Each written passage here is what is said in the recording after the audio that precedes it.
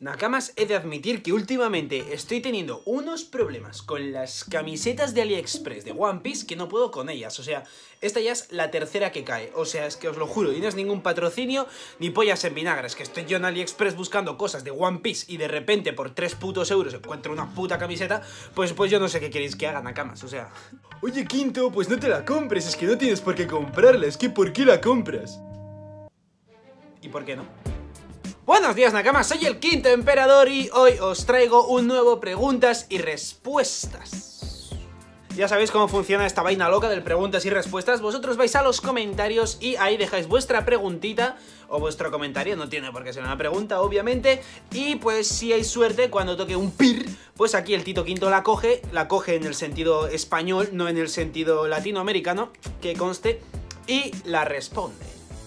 A todo esto, avisaros de que este viernes estaré de viaje, estaré de vacaciones y no podré grabar review, no podré grabar la review, pero no pasa nada porque, bueno, no pasa nada más o menos porque dejaré un vídeo programado o bien para el viernes o bien para el sábado habrá un vídeo preparado y además eh, ahora sabéis que hay una función como de historias, como las historias de Instagram. Pues YouTube con todo su nabo gordo ha cogido y ha copiado este funcionamiento, esta herramienta de Instagram y de Snapchat y la ha dejado en YouTube, con lo que podré pues hacer un par de stories aunque sea opinando sobre el capítulo o así. La verdad es que a mí lo de las historias de YouTube me parece una idea maravillosa, porque es que permite hacer esas tonterías de que quiero comentar un capítulo en 20 segundos dando mi opinión, pues no tengo que hacer un vídeo para dar, es mi opinión, o sea, cojo 20 segundos y lo hago. Y bueno, Nakamas, empezamos con las preguntitas. Y vamos a empezar fuerte. Thunderlight 14 empieza potente y nos cuestiona lo siguiente. Pregunta, te voy a decir esto muy en serio. ¿Tú crees en verdad que Queen está viva? Y bueno, se ve que el hombre lo dice de verdad, no lo hace por hacer la coña, con lo que yo te respondo totalmente en serio. No, es que ni de coña, pero es que ni de coña, es que me ponéis un listado. 20 personajes que más posibilidades de que estén realmente muertos. La primera, Quina. A ver, primero pondría Ace o Barba Blanca, pero bueno, como seguramente la Kage Kage no Mi de, de Moria acabe en la tripulación de Kurohige, estoy segurísimo de que van a, van a usar como zombies los cadáveres de Ace y Shirohige, segurísimo. Así que dejamos en que la primera de la lista es Quina. Os habéis quedado todo locos, ¿eh? Con lo que acabo de decir. No, pero ahora hablando en serio, a fin de cuentas, Quina es como un, como un personaje objeto de estos que se les llama, ¿no? Pues para dar más profundidad a la historia de otro personaje, como es en este caso Zoro. Quina realmente ha sido utilizada simplemente para ese pasado de Zoro, para que sea más triste y para que Zoro diga, pues vale, pues si no va a ser Quina la mejor espadachina del mundo, tengo que ser yo por cojones, no, no, no puede haber rivalidad entre dos si uno está muerto, entonces tengo que serlo yo por cojones. Y yo creo que ese es al fin de, a fin de cuentas el objetivo de Quina. Al final, como el de Ace, que Ace es un personaje muy característico, está muy guay y tal, pero a fin de cuentas ha sido utilizado pues para morir, para que Luffy tenga una razón para mejorar el time skip y todo esto. O sea, son personajes objeto que yo les llamo y Quina ha sido eso. O sea, ahora si de repente vemos que está viva, que revive, mucha parte del pasado de Zoro perdería tristeza y además esa motivación que tiene Zoro de ser el mejor porque no puede ser lo otro. Perdería mucho el sentido.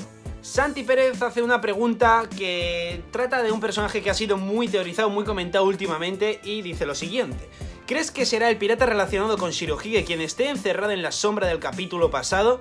¿O que ese mismo pirata le enseña el haki elemental a Luffy? Bueno, aquí hay dos ideas. La primera, el pirata, la leyenda latente que dijo Oda que estaba relacionada con Shirohige, que se encontraría con los Mugiwaras en este año y sería el rival más difícil que ha enfrentado jamás. Y luego está la otra parte que es la del personaje misterioso que no sabemos quién es. Pues este hombre ha cogido las dos y las ha juntado. Ese personaje, la leyenda latente, teóricamente va a ser enemigo de Luffy porque Oda dijo que será el rival que más difícil al que se habrán enfrentado. Y yo creo que este hombre, el prisionero de Azkaban, este de aquí, va a ser aliado de los Mugiwaras. Y de hecho me atrevería a decir que es uno de los, de los samuráis que Kinemon quiere, quiere reclutar. Sabemos que están Asura Douji, eh, Denjiro y Kawamatsu. Pues bueno, Kawamatsu yo ya dije que creo que era el hombre este que iba ahí robando, robando dinero a los ricos y dándoselo a los pobres, el Robin Hood. Y entonces puede ser que Denjiro sea este hombre tan peligroso. O eso, o si no, Scooper Gavan es la otra opción que se me plantea. Y respecto a que sea el que enseñe el haki elemental de Luffy, a ver, estamos dando muy por hecho lo del haki elemental, es una teoría mía, o sea, no, no es un hecho que ya se ha visto y no sé qué, es sin más.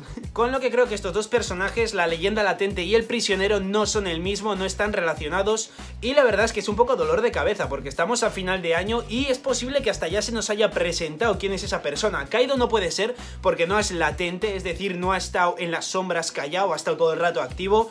Tal vez Im podría ser, lo único que desconocemos la relación con Barba Blanca, pero bueno, ha aparecido este año porque si no recuerdo mal, Oda dijo que aparecerá o sea que este personaje aparecerá y será el enemigo más difícil de enfrentar de los Mugiwaras o algo así. O que han tenido hasta la fecha más difícil de enfrentar, pero no necesariamente quiere decir que se vayan a enfrentar en este año. Con lo que de ser así, pues tal vez se estaría refiriendo a Im, pero bueno, eso queda mucho por, por, por ver y descubrir. Hola, ¿cómo andas? Con los pies, gracias por preguntar. Siguiente pregunta. ¿Cuál crees que va a ser el pasado, la ambición y sentido de la justicia de Akainu? Yo creo que tendrá sus razones para ser un loco de la justicia. Y efectivamente, eh, Federico, yo también creo que va a tener un pasado, nos lo van a explicar, y de ahí la razón de su justicia tan bestia, tan estricta, tan justicia absoluta, justicia nazi, como la llamo yo.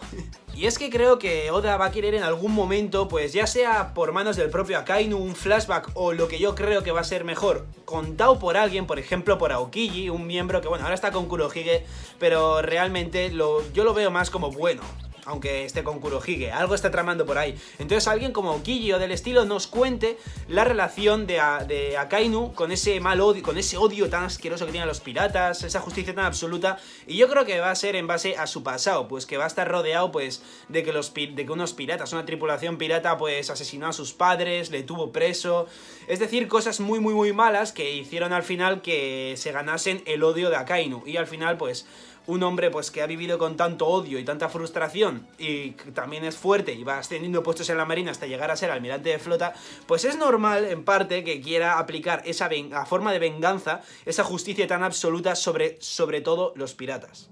Ahora obviamente no voy a ponerme aquí a montarme el paso de Akainu porque no hay nada para basarnos en ello, únicamente un tatuaje de una rosa que puede ser que tenga algo que ver, ¿no? Pues como en honor a sus padres o algo así, que se tatuase una rosa, pero por lo demás, la verdad es que no hay nada en lo que fundamentarse, pero yo como, como pista, como pequeño avance diría yo, creo que efectivamente va a ser todo ese odio, esa justicia absoluta va a estar basada pues eh, por el pasado tan terrorífico que ha vivido por culpa de los piratas. Cooper nos cuestiona lo siguiente. ¿Qué crees que haya pasado con la espada que tenía Luffy antes de recibir la paliza de Kaido? ¿Se la habrán quitado los miembros de Kaido o puntos suspensivos?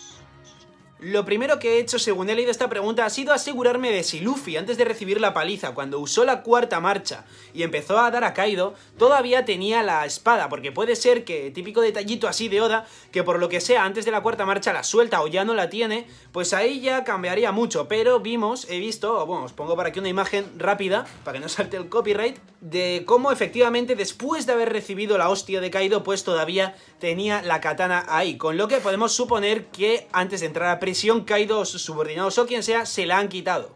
Pero Nakamas, es la segunda mano del demonio. Algo tiene que pasar con esa espada. Obviamente no se va a quedar en el olvido. una de las opciones que veo posible es que se la den a Orochi, al Shogun, puesto que es una espada de bastante renombre, muy importante y peligrosa sobre todo, y tal vez al Shogun por lo que sea le interesa. O si no, la otra opción es que incluso entrando en prisión o lo que sea, pues por lo que sea, le han mantenido con la espada o está por la prisión o cualquier cosilla y sea algún personaje importante de renombre que vayamos a, ver más adelante o alguno de los nueve vainas rojas estos que están pendientes de aparecer o lo que sea, que se quede con esa katana. De todas formas, yo creo que esa, esa, espada va a volver, igual no a manos de Luffy, pero sí pues a manos de Zoro, de Tengu, el maestro de Tama, o lo que sea, pero no se va a quedar en el olvido. Yo las dos opciones que veo es esa, o que vuelva a la banda de los Mugiwaras o que la tenga el Shogun. Raybax Dan nos pregunta, ¿crees que es posible que Kurohige no sea un D?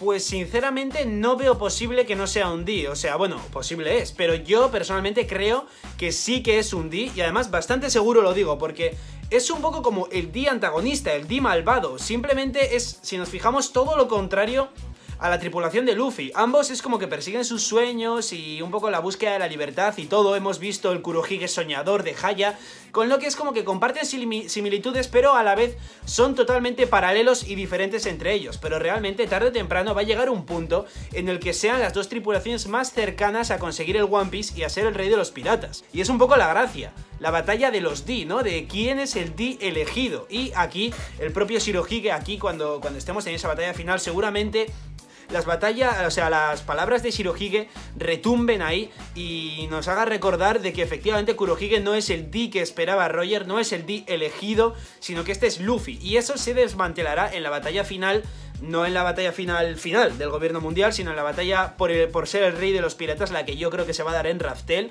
que es la de Kurohige contra Luffy. Ahí se, ahí se verá de verdad quién es realmente el D, el D destinado a ser el rey de los piratas, a encontrar el One Piece y a poner el mundo patas arriba. Y ese obviamente es Luffy, pero hasta ese momento, aunque lo demos por hecho, se mantendrá esa intriga de quién es el verdadero D capaz de llegar, pero no por ello no es un D. ¿Qué onda, Quinto? ¿Cuántas teorías has atinado? Ahí ha sido a doler, ¿eh? Ahí ha sido a hacer daño, ¿eh? Y por último, Hawks36 nos cuestiona si Kaido es la criatura más fuerte del mundo, entonces ¿por qué aún no se ha vuelto el rey de los piratas? Después de todo, si es una pelea uno versus uno, Kaido ganará. Asumiendo que eso incluya a los otros Yonkou, los almirantes y el Gorosei, no importa a quién se enfrente a su tripulación mientras Kaido se enfrente contra el líder o capitán de la tripulación enemiga.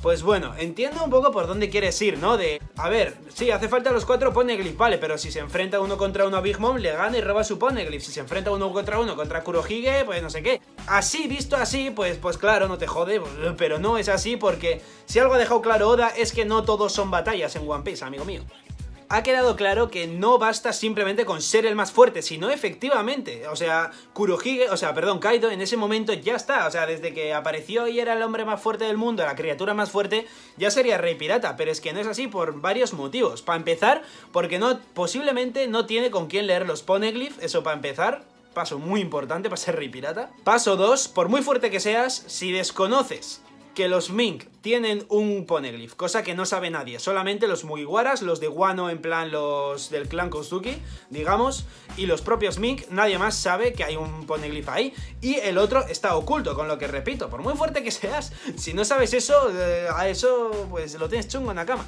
Y además de que es un poco eh, justificación fácil, argumento fácil el que voy a decir, pero realmente ha quedado muy claro que todo va en base un poco al destino, ¿no? O sea, de que si estás destinado a poner el mundo patas arriba, lo eres tú, o sea, pase lo que pase, las hostias que te caigan encima, el que va a ser el afortunado entre comillas y hemos visto que efectivamente Luffy lo es y que Roger no lo era. Roger llegó muy lejos, pero Roger no era el destinado a hacerlo, porque si no, lo hubiese conseguido. Pero bueno, pues pasaron los factores de que, por ejemplo, la enfermedad, que yo personalmente puse un tweet sobre esto, creo que se la... Yo creo que la, la enfermedad se la contagió, por decirlo de alguna forma, Im con una de sus maripositas, que la pasó y por ello contrajo la enfermedad. Luego también había que tener en cuenta que Poseidón, Shirahoshi, en ese momento no existía con lo que no había un arma ancestral en ese momento. Y probablemente para el proyecto, todo este One Piece que, se, que, se va a montar con Luffy, que quería hacer Roger y tal, harían falta las tres armas ancestrales. Y en ese momento, mínimo una no estaba, con lo que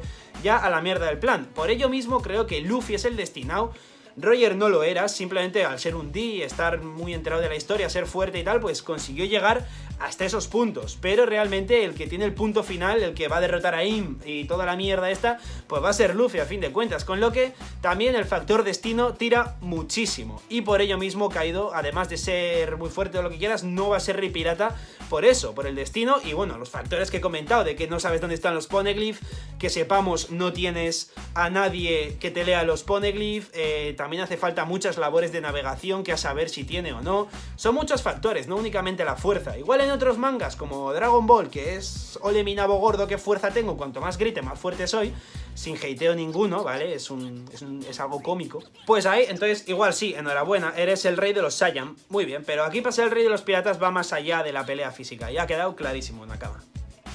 Y nada más, Nakamas, hasta aquí ha llegado este preguntas y respuestas. Eh, repito lo de antes, preguntas ahí abajo. Y pues nada, si os ha gustado Nakamas, os agradecería muchísimo si me regaláis un like y sobre todísimo si os suscribieseis y os vinieseis aquí a, a mi tripulación Nakamas. Un saludo Nakamas y hasta mi próximo vídeo.